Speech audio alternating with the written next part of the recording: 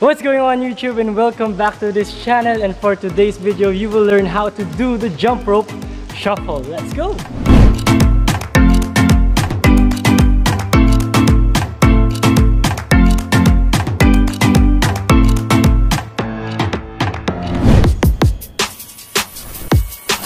What's going on guys and welcome back to the channel for fitness, life and good vibes. And for today's video I'll try to teach you how to do the jump rope shuffle or the shuffle itself. Uh, so before that guys, if you haven't then consider to subscribe to the channel for more fitness, life and good vibes videos. And also I'd really appreciate if you support the channel by ordering these merch.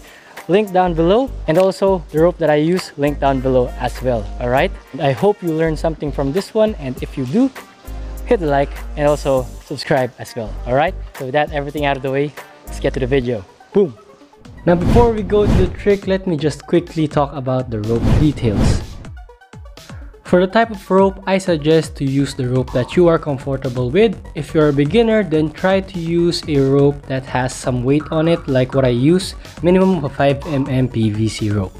Now for the length, I suggest to go a little below the chest area or if you are comfortable with the chest area, it's okay as well. Now let's talk about what tricks do you have to learn first before doing this trick. First and foremost guys, you have to learn the regular bounce. If you don't know how to do this trick, I have a video of how to jump rope for beginners. I will link it in the upper right corner of this video right now.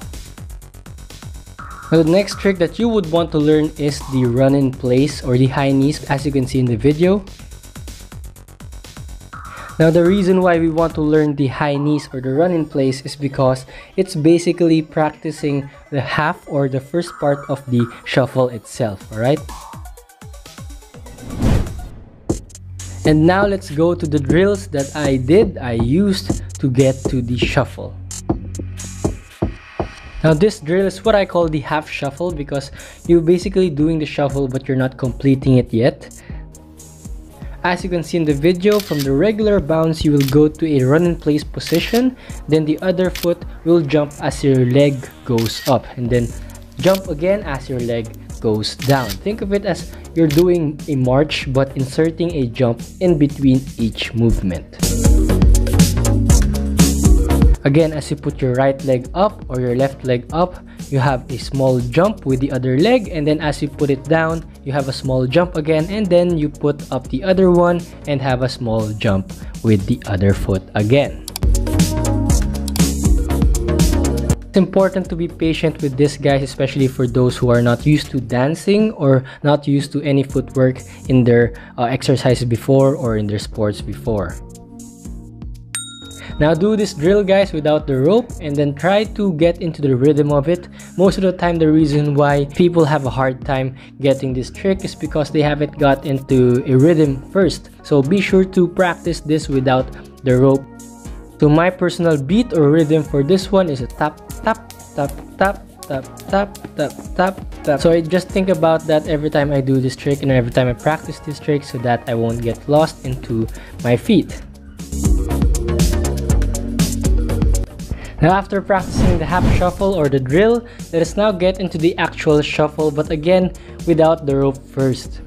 So after you've done the drill or the half shuffle, the full shuffle is just stretching your other leg to the back as you jump or to your back.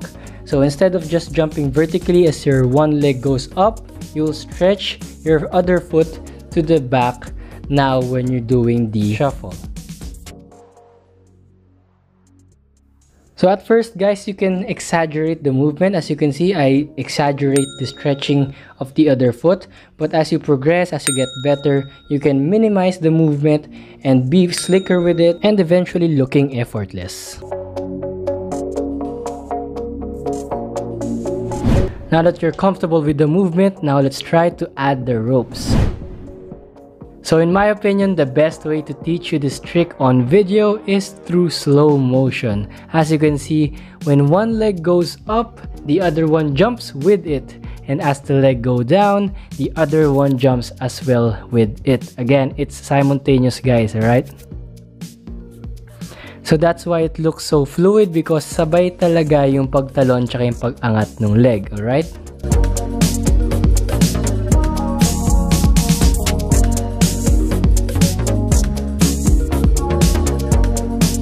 So another tip guys is to lower your arm a little bit when you're doing a footwork tricks because it, this will avoid tripping. So normally when we do footwork tricks, our feet occupy a bigger space than other tricks. So it will help you if you lower down your arms just a little bit. Basically, you're making the rope a little longer.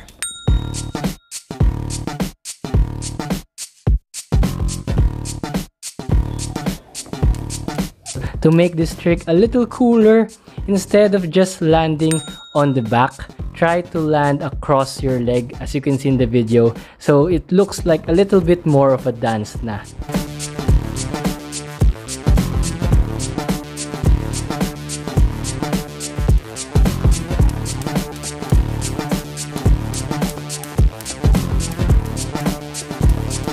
So that is it guys. As you notice, this video is not a usual edit for me because this trick does not have any secret tip with it. So you just have to try it out and feel the rhythm and the timing.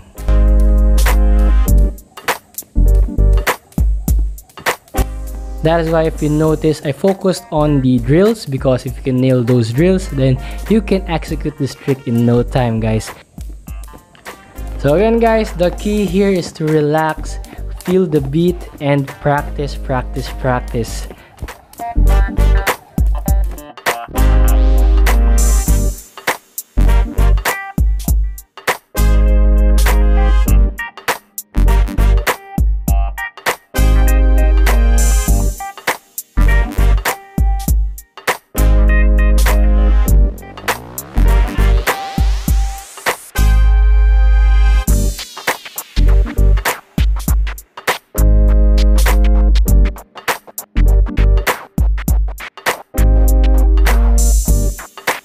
So that was it guys. I hope you learned something from that video. And the jump rope shuffle is a very fun trick to do and also it really looks good especially with the right music. Alright guys, so thank you guys for watching. And if you haven't, then consider subscribe. And if you found value in this video, leave a like.